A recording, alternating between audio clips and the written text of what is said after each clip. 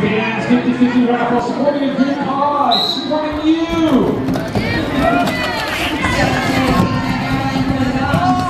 There's the hoops out there. Bo Chambers back up.